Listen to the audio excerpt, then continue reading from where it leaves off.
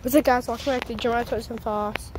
Um, Boston Foss asking, my bad. I'm gonna give you some info about Huskies. You want to get them? All right, they're the most active dog.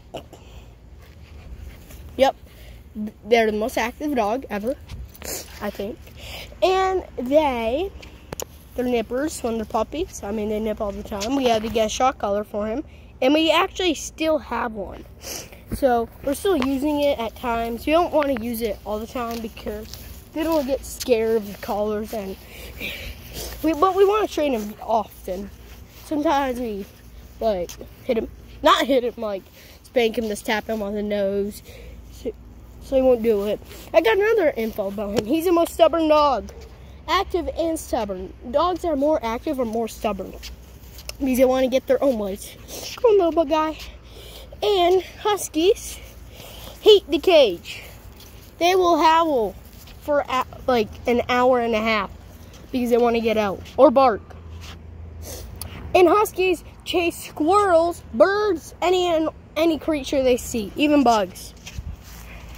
They want to get their own way. They're hard to train, very hard actually. But if you train them at an early age, you will get it through we feed him the brave wilderness because wilderness is what huskies are made from wolf. They're like wolves. They look like one. And he gets all the attention that he can get. I mean he will go after everyone for attention. All right you have to get all their shots before you actually give him a nice walk. You need to get all the shots he cannot see dogs until he after all the shots when they say they can walk him. Oh, he sees a dog. Our Boston, no. No. He sees a little dog over there. He's not that strong at all. So this is, I put, yep, we try to get him the best leash, the strongest one.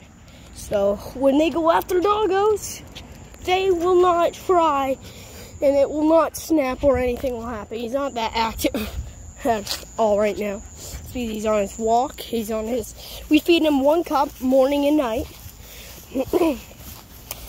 we feed him a little bit more than one cup because he'll be starving and he'll want to eat more. So we get him bully sticks. They're um, cows or bull's penis. So he chews on them. He likes it. He likes it taste. He likes the feeling. It helps his teeth. It keeps his teeth clean. And they get ear infections, I heard, a lot.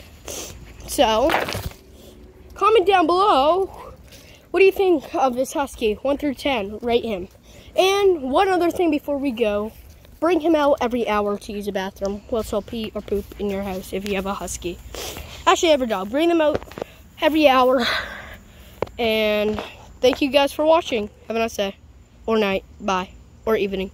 Subscribe to Jeremiah 27 Foss. It's called Golf for Life slash Jeremiah 27 Foss or plus Jeremiah 27 Foss.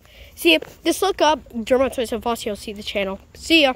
Subscribe and comment and subscribe to my channel. Bye.